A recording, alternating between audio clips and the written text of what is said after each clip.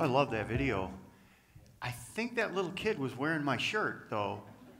It was a bigger size, of course, but I still think it had the same pattern. I don't know. I'll have to look it over. Anyway, if you're joining us online, uh, thanks for uh, joining us. And I'm Pastor Matt, and I'm wearing a shirt that a little kid on the video wore. So, anyway, um, we're. Have you ever done this? Have you ever taken an online test, like a personality test, maybe, or maybe you took a uh, an IQ test, and maybe you were disappointed with that, or you you you took a, a an emotional health test, or you know. Or maybe you took a, you know, something more silly like uh, I like puppies or doggies or whatever, or kittens test, or maybe you did, am I a psychopath test, and you've scored high on that, unfortunately. It, there's all these tests that you can take, right? And you can rate yourself and find out where you fit in. Am I emotionally intelligent? Is this the right career path? And, you know, what's my personality type? Am I introverted, extroverted? All those different tests. Well, it's interesting. The book we're going to look at today in, in the New Testament, it's a letter, it's an epistle. That's what we're doing right now. We're going through the letters of the New Testament, we're going through the epistles. And uh, the one we're going to look at today is First John. And uh, you could turn to 1 John right now if you want to, because uh, that's where we're going to be. Uh, but it's a letter, and it, the interesting thing about it is it's like a test. John writes it like a test, where you, what you're going to do is you're going to read through it and say, is that true of me or not? Is this true of me or not? Is this true of me or not? And he has a whole bunch of these questions, and uh, we're going to look at that. So let me give you a little background about 1 John the first thing you know is it's written by John. He was the Apostle John who wrote the Gospel of John. He also wrote three epistles First John, Second John, and Third John. So next week we're going to look at Second and Third John. We're going to cheat and do them both because they're only one chapter each next week. But this weekend we're going to look at First John, which has five chapters. And it's kind of uh, like the rest of the epistles, but it's not like it in a way that a lot of the other epistles were written to certain regions, like to the Christians of Galatia, to the Christians of Ephesus, to the Christians of Rome, to the Christians of Corinth. So they were written to certain cities, to certain Christians. First John wasn't. It was just kind of written generally to the church and uh, to believers. And it, he, um, he asked questions. He, he essentially, the test is this Are you somebody who calls yourself a follower of Jesus Christ? Well, if you are, then this should be true. If it's not, then you ought to kind of call it into question. And, and so let me give you some examples of what I mean here, because uh, this will kind of give you an outline of the book. Um, for instance, if you read 1 John uh, 1, verses 6 through 7, he, John says, Believers don't continue in sin. Their life isn't characterized by sin. They repent of their sin. They don't blame shift they, they repent, they confess. Secondly, if you look at 1 John 2, verses 3 and 4, believers keep his commands. If you're a believer, you'll keep his commands. That's what they do. That's the natural way that they move. They want to please God and they want to keep his commands. Jesus said once, He says, Why do you call me Lord, Lord, but you don't do what I've commanded you to do? Uh, the, the third thing we see is they love their Christian brothers and sisters. 1 John 2, verses 9 through 11. One of the characteristics of believers is they love their Christian brothers and sisters. Listen, every church is imperfect. This church is imperfect. Every church is imperfect. And it's interesting to me that people are, you know, quick to criticize the church, but you better be careful because it's called the bride of Christ. And every church is imperfect, imperfect and it'll never be perfect. And, and you know, you say, well, I don't like the church. The, you know, they're a bunch of hypocrites. Well, yeah, and you, if you went there, you'd, there'd be one more hypocrite because you're just as bad. I mean, and that's the thing. We don't see our own, you know, our own sin. And we don't see our own hypocrisy sometimes. We're very good at pointing out at others. We're not very good at pointing it out and seeing it in ourselves. But he says that if you're a Christian, you'll love your brothers and sisters. And then it says, um, this is the passage we're going to look at today 1 John 2 15 through 17. Believers don't love the world. We're going to talk about that because there's a lot of confusion about what that means. Uh, because you may have heard, oh, wait a minute, wait a minute, didn't God love the world? Well, we'll, get, we'll talk about that in a minute. Um, look at 1 John 3, verses 16 and 17. It says, Believers, care for the needs of their brothers and sisters. You know, it's one thing, and James says this it's one thing to see your brother and sister and say, hey, have a good day and that. But when you see them and they have a need and you don't meet that need and you, you don't do anything, you're not being a good brother or sister. And, and if you're a follower of Jesus, you should be a good brother or sister. Um, here's another one uh, 1 John chapter 4, verses 2 and 3. Believers teach that Jesus Christ came in the flesh from God. Uh, so one of the things we see in the, in the uh, First John, the epistle First John, is that the, er, there was a cult, there was a false teaching going on within the church. And it was that Jesus was like a phantom. He was like a ghost. He wasn't, he didn't really have a physical body. But if you read the first few verses, John, John says, we grasped him. We held on to him. In other words, he had a physical body. He had a physical body.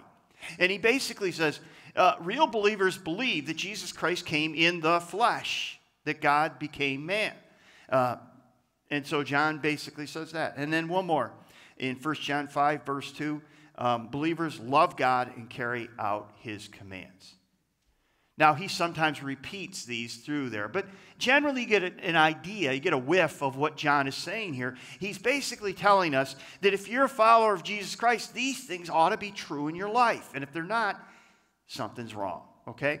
So let's look at the passage that we're going to look at. And if you're joining us online, we're in 1 John chapter 2, verse 15. And uh, we'll read, I'll read through verse 17. Do not love the world or anything in the world. If anyone loves the world, love of the, for the Father is not in them. For everything in the world, the lust of the flesh, the lust of the eyes, the pride of life, comes not from the Father, but from the world. The world and its desires pass away, but whoever does the will of God lives forever. All right, so the question is should we love the world? Should we love the world? Now, some of you know there's a verse in the Bible somewhere, and it goes like this For God so loved the world, right, that he gave his son, that whosoever believes in him should not perish, but have everlasting right. That's life. That's John 3:16 written by the same John who's writing now in the verse that we just read, the passage we just read, it says, Don't love the world. What's going on? Now, some people would say, Oh, well, there it is. There's a contradiction in the Bible. And many people, most of them, who probably the vast majority of them, who have never read through the scripture, who have never given it the benefit of a doubt, who have never understood the literature of the Bible, and have never taken time to investigate uh, other than on a surface level, would say there's a contradiction. But is it a contradiction? Well, no, it's not a contradiction, and here's why.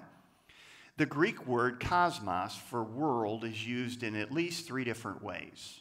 Here's how the world is, is used one, for the physical world, the creation, the stars, the moon, the, the, the earth, the oceans, the seas, the mountains the vegetation, the flora, the fauna. It's talking about the world. In the beginning, the God made the heavens and the earth. God created things, right?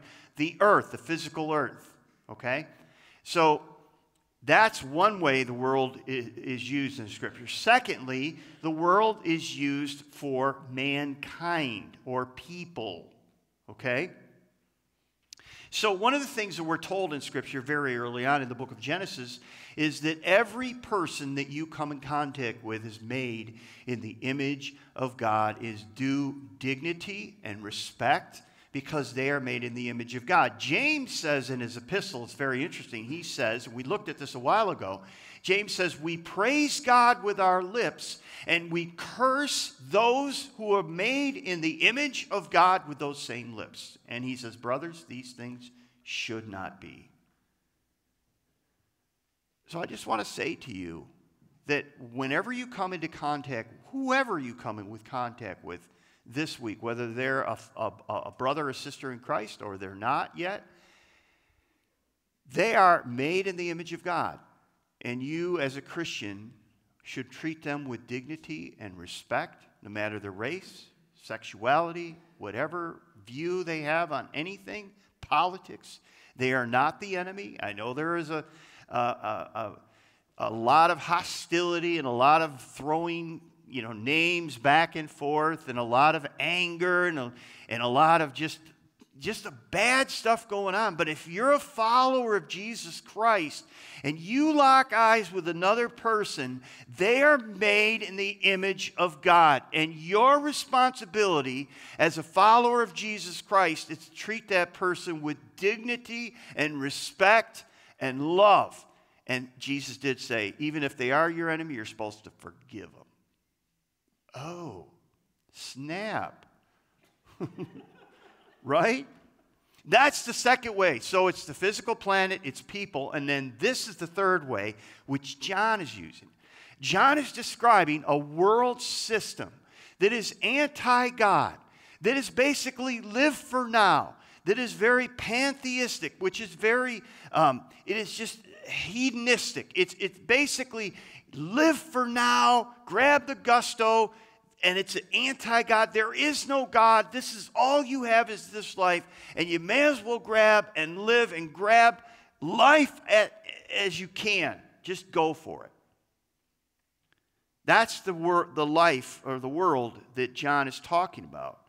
It's a system that's empowered by the enemy. It's characterized by idol, uh, being uh, uh idols and uh, loving this world. Um, it's called worldliness. Let me define for you a minute worldliness. Worldliness is a system of thinking that all there exists is this material universe. There's no God, there's no creation, creation there's no, no sustainer. It's a value system. And the mindset is there's no place for God.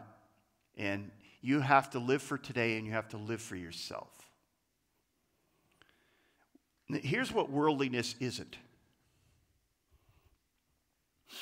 God, when John calls us to hate the world, he's not calling us to hate our planet.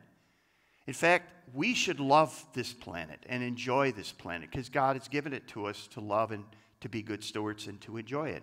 And that means we are to manage it and to care for it, and we ought to conserve. And we, because there's a mentality within Christianity that says, oh, the world's all going to get burned up anyway, so it doesn't matter if I conserve or whatever. And I just want to tell you, you should be a good geek, you should be a good earth keeper. You should conserve. You should recycle. You, because we should love this planet and take care of it. Secondly, we should love people. And we should care about people and care for people. Um, we, we should see them as image bearers of God and love them. Um, I, I just want to stop for a minute because there's a mentality going on within the Christian church today that it's more important to be right than to love. And the idea is this that we, we see all these things happening in our society that we don't like as Christians, in our culture. And we want to, what I call howl at the moon. We want to complain. We want to call them out. We want to condemn. We want to do all those things.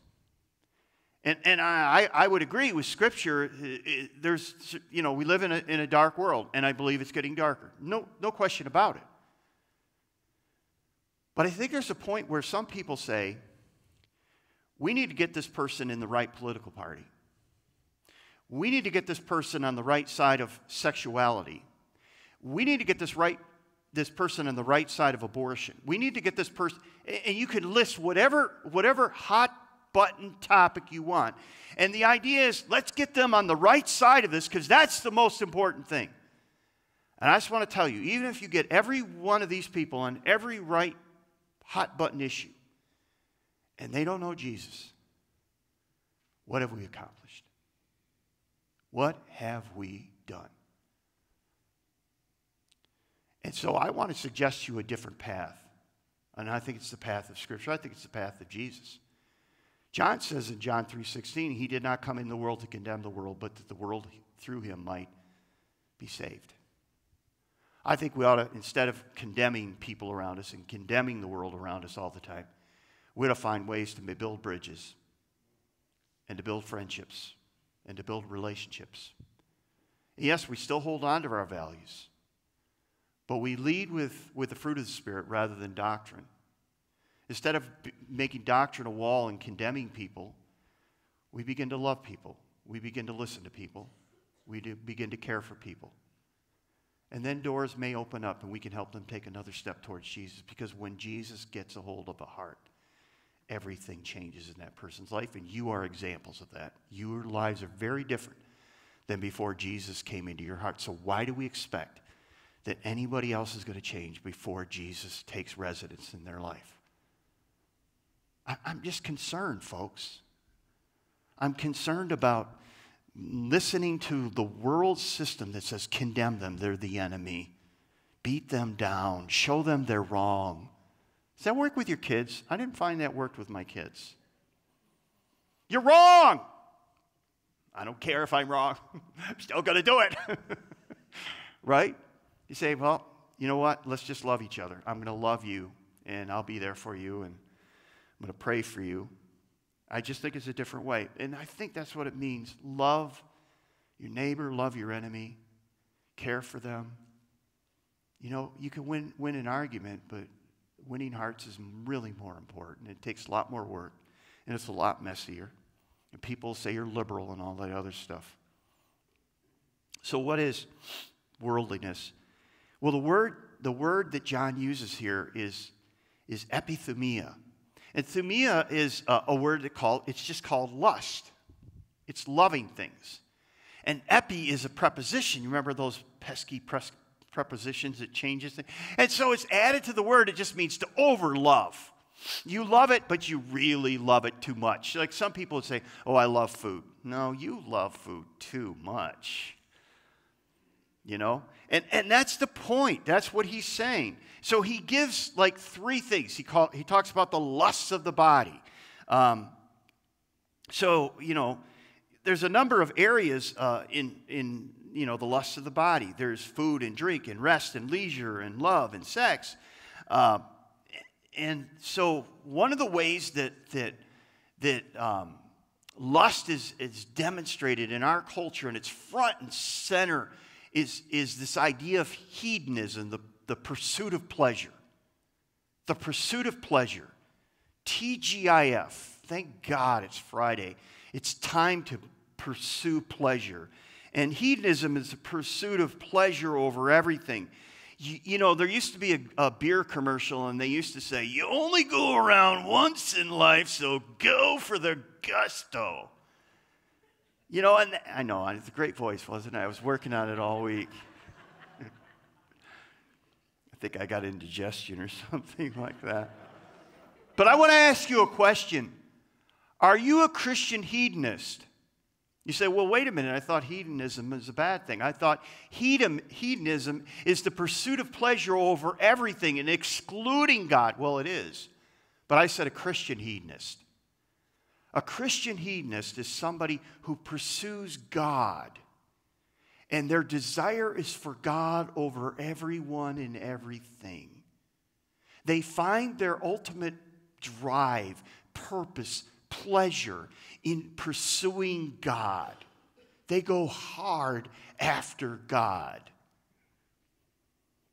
I like how C.S. Here's what I found. When we pursue pleasure for pleasure's sake, it never fills and it always leaves us empty. When we pursue God for God's sake, it always fills, it always captivates our heart. And it always brings purpose and meaning and pleasure. C.S. Lewis wrote this in The Weight of Glory.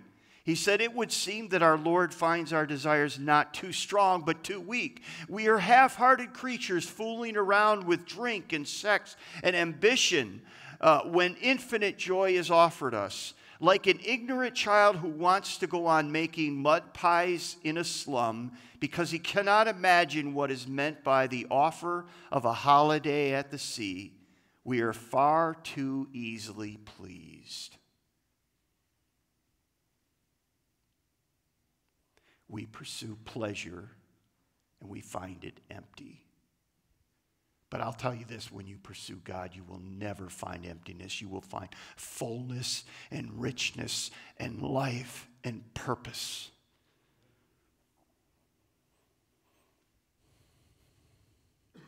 Well, he talks about the lust of the flesh.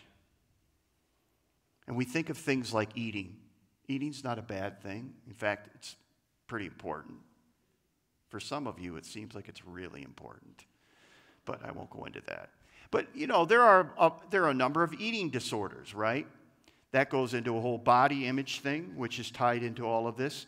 But using food uh, as a way to control, uh, you know, to cope or control your world, some, some of us do that, right? Chocolate or other things like that.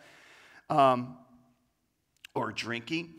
Um, there are some people that I've met that basically they use alcohol to manage life. I've seen people absolutely destroy their lives through alcohol and alcoholism uh, because they can't cope with life, so they want to blur life. Um, let me give you another one, and this is one that many of you will. Okay, so this is where some of you are going to feel very uncomfortable, and if if you do, then I'm I'm right on the money here. I mean, I'm right where I need to be. Um, more and more people I find, especially Christians, are pursuing pleasure in the area of leisure, rest and relaxation. Um, because they find their jobs unfulfilling, so anytime they can find leisure, rest, and re- now listen. I, what I'm not saying is this that you shouldn't find leisure, you shouldn't find rest and relaxation. But what I'm finding is many Christians are saying leisure and rest and re- relaxation, man, that is what I have to have. I have to have it or I will not survive. And they go all out. And Christians have allowed the pursuit of leisure to crowd out the pursuit of gathering together with other believers and worshiping God. They've gone out and they've worshiped creation, they've worshiped le- leisure, they've worshiped relaxation, but they have not gathered together with other believers to worship God, to pursue God. This is a problem. John tells us that if we are true believers, we will love God and our brothers and sisters, and we will choose God and pursue God and pursue relationships with our brothers and sisters because they bring life and refreshing and hope and joy and all those things. I mean, I want to just tell you that I'm alarmed at how many Christians are out pursuing leisure and they're not gathering together with other believers. They've forsaken assembly, as Hebrews writes, together.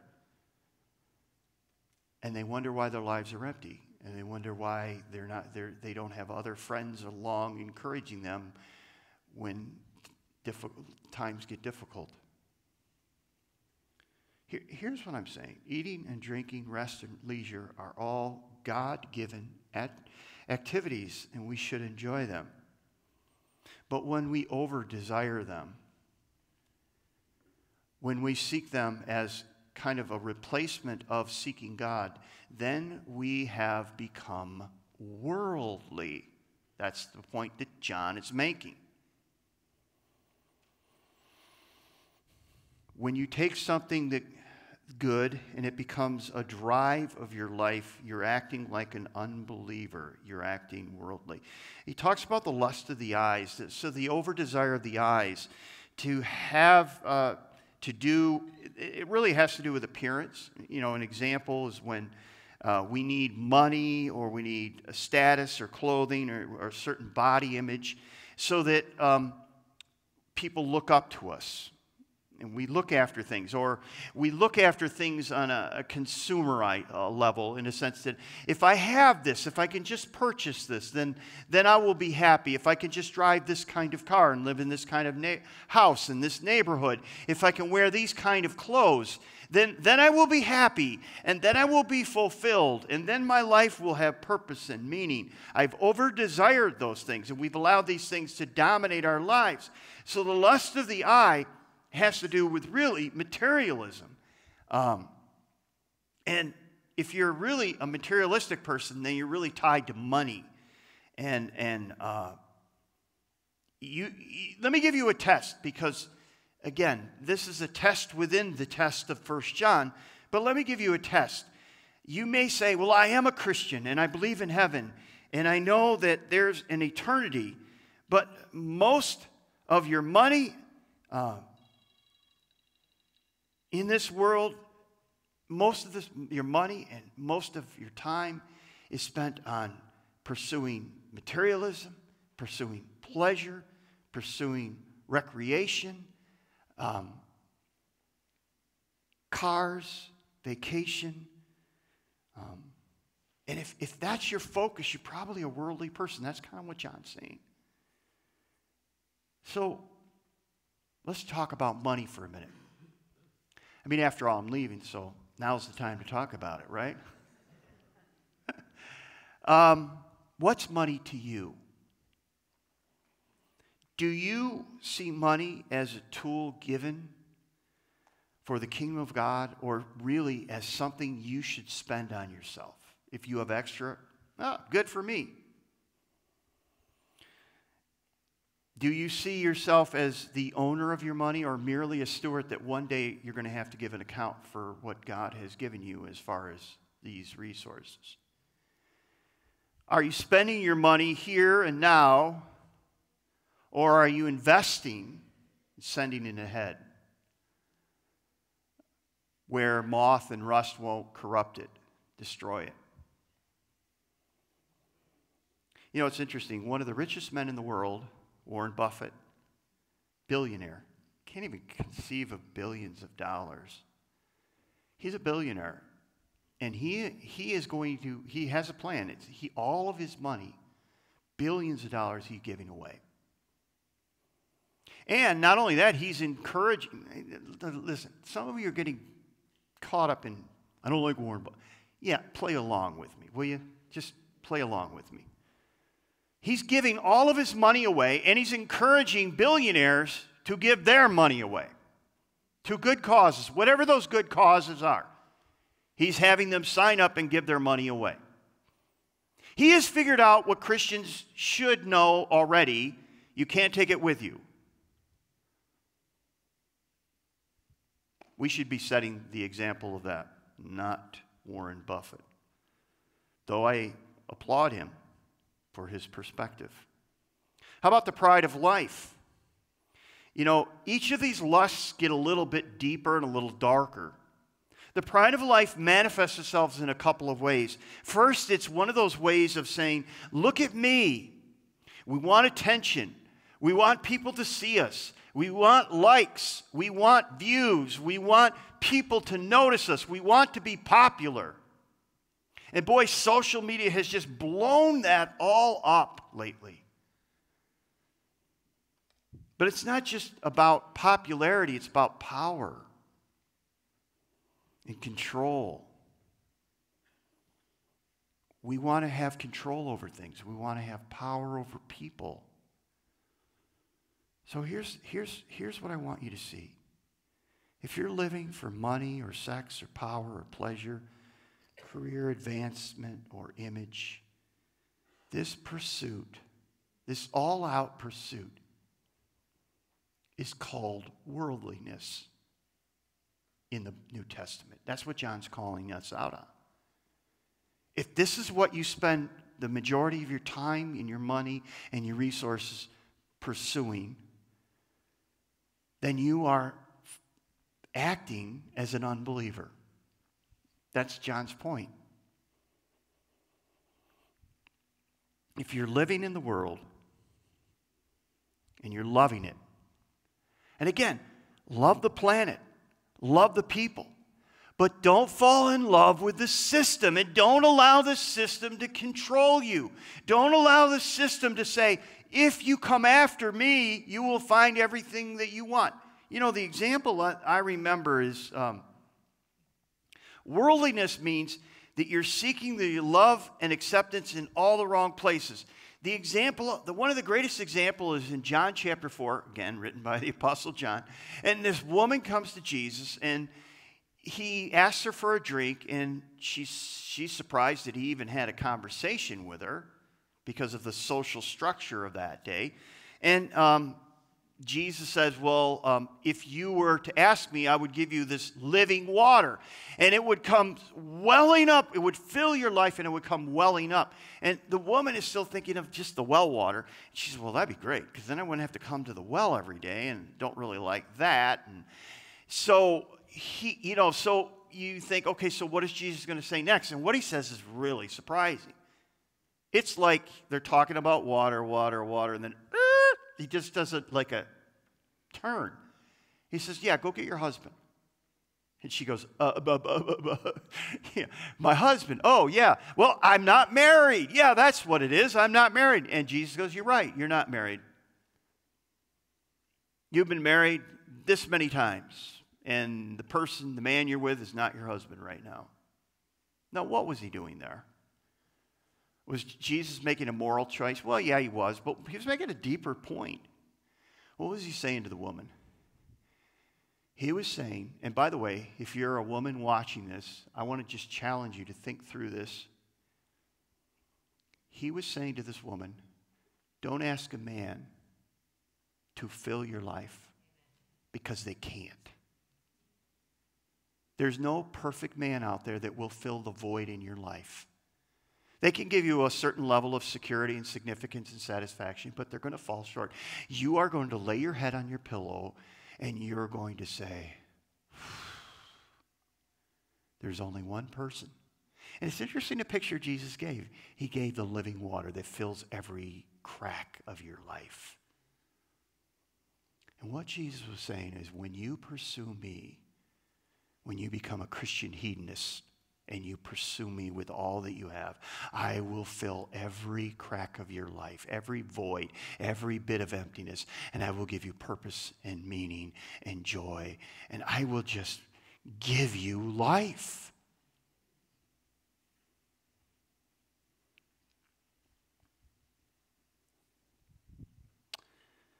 Until you come to a place where you understand the Father in heaven is the only place where you will find that emptiness filled.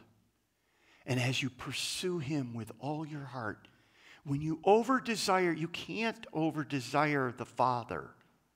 But when you desire Him, when you, when you allow the Father, you lean into the Father's love and you become enamored with it and amazed by it and driven by it and, and, and just called to it. When you find that love, you will be. You will find yourself carried. You will find yourself loved. He calls you his, his son and daughter, and, and he's already invested so much. He sent his son Jesus for you. He's given you everything, and he will hold nothing back from you. If you bask in his love, you will cast out and cast off the unhealthy love for this world. John says, Don't love the world. The world system is empty, and all of its promises are empty. Latch yourself on to the Father, pursue the Father, desire the Father. Let me ask you one last question. Is Jesus worth the effort, the pain, the sacrifice that it will take to overcome the pull of this world so that you can seek his kingdom and his righteousness? Because Jesus said, Seek ye first my kingdom and my righteousness, and all these things will be added to you. Do you believe that? Do you believe an all out pursuit of the Savior will bring purpose and meaning and joy and everything that you need into your life? Well, this week we'll answer that question through your words, through your actions, and through your life. Stand with me, let's pray. Father, help us because without your help, we can't do this. We pray that your Spirit that you've given to us will guide us and direct us into all truth. We pray that we would love the earth, the planet, and be good stewards, that we would love people who are made in your image, but that we would not love this world system that has been controlled by the dark forces, that we would not be pulled in, that we would seek and pursue you, that we would enjoy the things that you've given to us, but not over indulge and over desire them for they will destroy us. Thank you for John, who's given us this self examination test. May we take it to heart, and may your Spirit point out areas in our lives that we've allowed to become worldly. We ask this all in Jesus' name. Amen.